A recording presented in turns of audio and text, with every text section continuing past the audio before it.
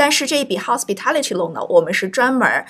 针对这些行业代码是七十一或者七十二的企业。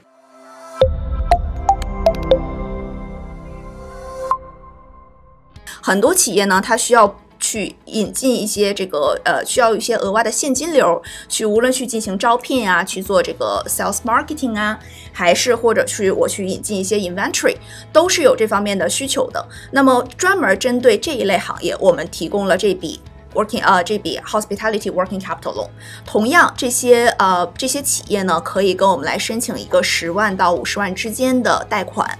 那么从利率角度来讲，也是一个优惠利率，浮动利息本呃 base 基础减去一点零五，也就是说跟前一个借款的利息是一样的。那么今天的话就是五点三减去一点零五是四点二五的利息，也是一个无抵押的借款。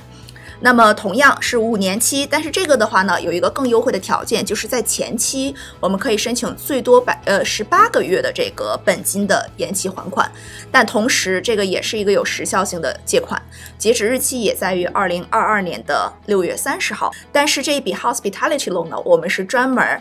针对这些行业代码是七十一或者七十二的企业，比如说 arts、entertainment，或者是 recreation，还有 accommodation 和 food service。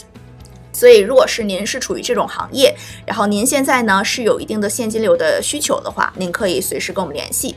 针对的是受疫情影响的企业，也就是说，您在疫情前应该是一个活跃或者财务状况良好的公司，也就是二零二零年三月一号之前，您要保证公司是一个盈利的。公司，那同时呢，您的年销售额应该处于五十万到五百万之间，用于申请这一笔借款，因为它是一个 relief loan，而不是一个 startup loan，所以很大程度上它是针对于咱们现在已有的这些加拿大服务行业。原创不易，点个赞吧，您的支持是我们的动力。